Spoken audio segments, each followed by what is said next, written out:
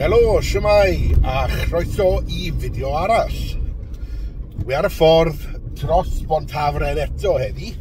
Um, tro ma, wy'n mynd i rywle yn swyddgar loiw o'r enw um, Withington. Nawr, y lle wy'n mynd heddi, fyswn i ddim yn gallu mynd ar ben yn ydy o e ddim ar agor i'r cyhoedd o gwbl. Ond gan fy mod i'n aelod ac arweinydd UCAF, uh, UK Association, uh, UK Association of Fossil Edges. Um, mi cael mynd fel rhan o, o daith um, swyddogol fel, o, o, o dan UCAF. Felly, o'n i'n meddwl bys ni'n um, ffilm fe i chi, i roi ar, ar y sianel hefyd, gwybod bod wedi bod yn, yn sbel ers i fi uh, lanwys o fideo, ond uh, peth yw, fel lot o bobl, fi'n gorau gweithio. Felly, um, weithiau mae'r uh, amser sbar sy'n gyda fi i fynd i chwilio'n ffosiliau yn bryn. Felly, um, dwi'n ddiolchgar bod wedi cael digon o amser y brwythos mae i fynd. So, gobeithio bydd yr uh, uh, uh, uh, uh, helfa ffosiliau heddi yn, yn gyda, ond mae'n neis jyst i fynd i rywle newydd sydd heb gael milodd ar filodd o bobl yn, yn uh, pigo trwyddo fe a, a chael y ffosiliau i gyd. Um, nawr, natur y lle yma, dros y cheiliad, fi ar gylchfan. Okay, reit, wel, mae natur y lle yma yn wahanol i natur lot o, o leoedd eraill dwi'n mynd gas ydi ffasilia. Um, dim ond doi gas yna. Um, CN enfawr, gwrs, ond uh, fel arall, os i ddim yn treulio um, hanner y diwrnod yna. Ond, ne, doi ga enfawr, a wedi bod yn o'r unwaith o'r plen, y tro diwetha nes i ffeind o darnau o ecinoids, um, lot fawr o brachypods, terabractylates a'r granits ac ambell i um, gragan ddeiglaw hefyd, ond dim llawer on. Ond heddiw i gobeithio dod o hyd i fwy na jyst ychydig o ddarnau o econoid. Dwi'n gobeithio ddeud o un gyfan, ond dwi'n hwnna ddim yn debyg wrth gwrs mewn ca, ond uh, dwi beth yn gwybod. So, dyna beth yn gobeithio, na ddim llwyddo, ddim ots, so na i joio'r diwrnod i ddweud. Reit, na fi am y tro, fi'n mynd nawr i ganolbwyntio ar y gyrru, a neu fel chi ar ochr arall daith. Iawn te, dyma ni yn Withington. Wel, uh, mewn ca tu fas i Withington yw.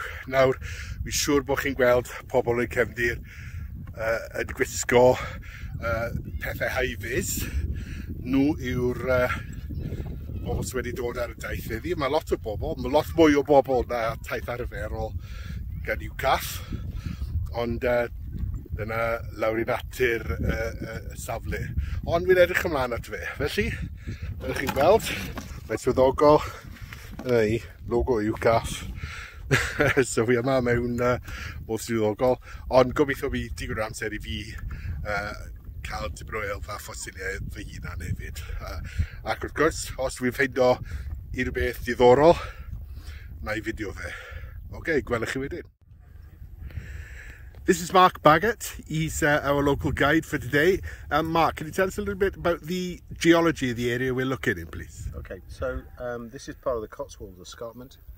Uh, Cotswolds Escarpment is um, a, a, limestone feature, uh, Jurassic in age, so about a, here about 167 million years old. Uh, that same Jurassic escarpment starts off at, in the Dorset coast and runs all the way up to North Yorkshire. Um, the particular geology here, we're talking about a, uh, a time called the inferior oolite. Um, so called because you find little tiny nodules in the in the uh, limestone that look a bit like eggs. And that's where it gets its name from. um, but a wonderful location and some super finds. Great, thank you, Mark. Pleasure.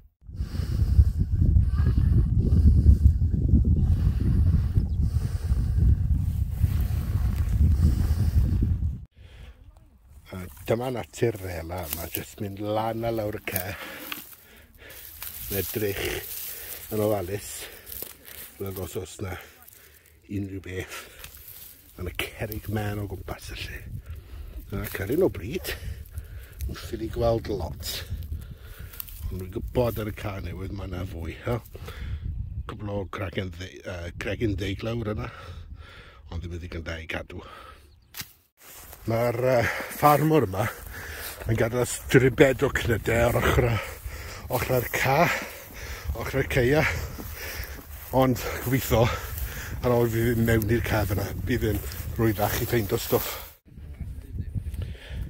Fel dwedais i ar ddechrau'r fideo, mae uh, doi gem a ni'n chwilio drwyddyn nhw, a wy wedi cyrraedd yr ail un nawr, ac yn amlwg, dyma ble mae'r rhan fwy o ffosiliau e, wedi dechrau dod o hyd i betha fel hyn, brachipod cerebratulid, a gobeithio, cyn bori hir, bydd lot o bethau eraill. Wy hefyd wedi ffeindo gastropod bech. Felly, mae siap o lan i fod yn efa de. Dim i'r aros amdani, ond uh, ffeind o lle cwpi lawr. Just edrych fel beth yma. Braci por arall, ac un arall yma. Ond mae lot o'r ein o dwi, so dwi'n mynd i gadw nhw. Sy'n mynd yn, a, cragen ddeig lawr. Dwi'n gadw hwnna. Wel, stopes i i gael chydig o ginio. Edrych ar, ar y llawr o gwmpas tra o'n i wedi stopo Hynys Fedon. Ecnoi bech. Yn gobeithio ffeindio un o'r rhain. Felly fi'n apus nawr. Dyna ni.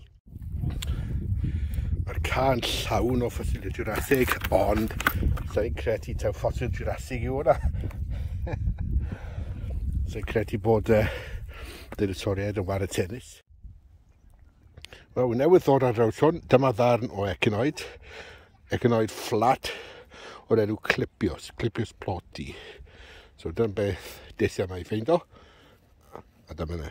Dyma ni. A dyma chydig o lwc i chi. Desia yma i wylo am ddarnau o Clipios, fel fi nes i newydd angos i chi fyna. Wel, newydd ddod ar draws un gyfan. Just o dan wyneb y tir. Wel yma. O, wy'n hapus iawn gyda hwnna. Dros ben flippin llestri. Ac yn syth bin ar ôl dangos uh, y clipus gyfan na i chi, wy'n sôn am yn llythrenno deg eiliad, wy'n i ddod ar draws un arall. Uh, gwych.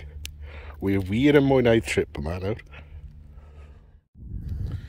Wel, na nawr fa ffosil drosodd bron am eddi.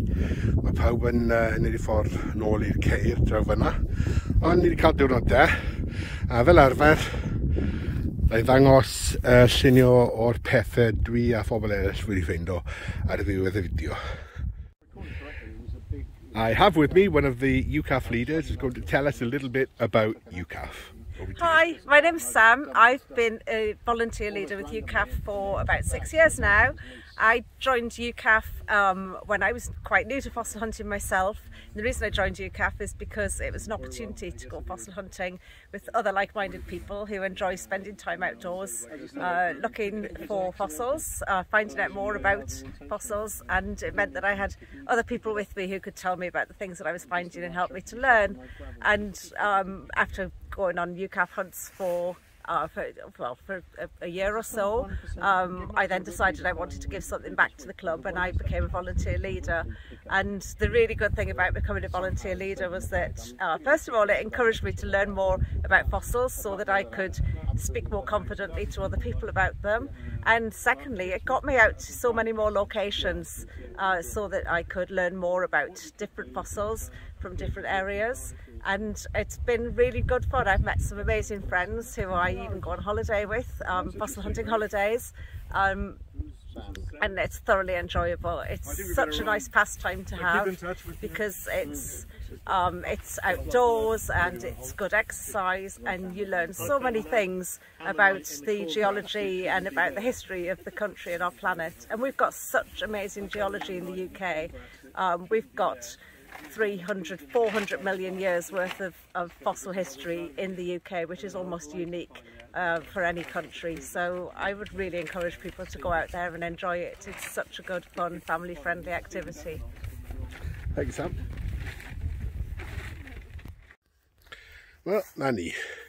Fi wedi gadael y car gyda'r ffosiliau nawr a Queen mynd am dro drwy um, drwy coedwig Chedworth, jyst lawr rew. Um, o'n i'n gobeithio ffeind o rhagor o ffosiliau yma, ond i fod yn onest, er bod y ffosiliau yn y lle yma, um, nhw ddim o ansawdd arbennig o dda, felly nes i adon nhw yma. Um, wedi cael lot fwy o ffosiliau de yn, uh, yn y ceia. So, na ni. Um, un peth o'n i eisiau dweud cyn i fi ddod ar fideo yma i ben, oedd, um, wrth gwrs, roedd y ceia, dwi, dwi ddim wedi dweud yn y fideo yma yn gwmwys ble mae'r ceia. Mae yna reswm dros hynny, oce, okay, dyn nhw ddim yn caniatau just unrhyw un fydd mewn, dyn nhw ddim ar agor i'r cyhoedd, ac uh, mae'r ffermwr wedi cael lot o broblemau gyda pobl sy'n tresbasu. Uh, hela yn anifeiliaid ar ei dir a stwff yna heb gael y tad. Felly, um, rydyn ni'n ffodus iawn i, i, i gael mynediad at y lle a i gael caniatad gan y ffarmwr i wneud um, trip mas i'r lle yna. Felly, os ych chi eisiau gwneud tripiau o'r fath, pam na chi'n uh, ystyried ymuno gyda UCAF? Achos ni'n rhedeg lot o dripiau uh, yn ystod uh, uh, y flwyddyn. Sai eleni, wrth gwrs, oherwydd y uh, pandemig Covid. Ond, fel arfer, ni'n rhedeg um, lot o dripiau drwy flwyddyn a draws prydain i gyd o, o uh, yn ysoedd y gorllewin yn yr Alban lawr i swydd gaint yn Lloegr um, Canolbarth Cymru a pob lle rhyngddyn nhw. Felly, mae werth ymuno, mae'r clwb yn un dda. Os ydych chi'n lico casglu ffosiliau, os ydych chi'n joio um, hela am ffosiliau, ymunwch ag i'w caff, mae werth wneud. A hefyd, uh, cewch chi gyfle wedyn i ddod ar dipio mas fel yr un heddiw, ble nag os pawb arall yn cael mynd. Ddim beth da am beth yw e. Dim ond rhyw 20 pint y flwyddyn mwyn meddwl i oedolion.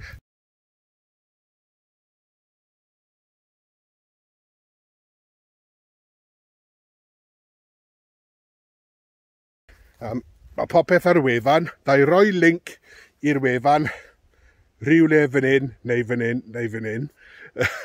okay. Ac wrth gwrs, yn ysgrifiad y fideo hefyd bydd uh, link i'r wefan. Ond am y tro, um, dyna ddiwedd, y trip heddi. Carwch yn saff, ac os ydych chi'n joio'r fideos yma, tan ysgrifiwch i'r sianel, a cliciwch y gloch i weld pa mae fideos newydd yn dod lan. Oce, okay, tan tro nesaf, o'i fawr i chi.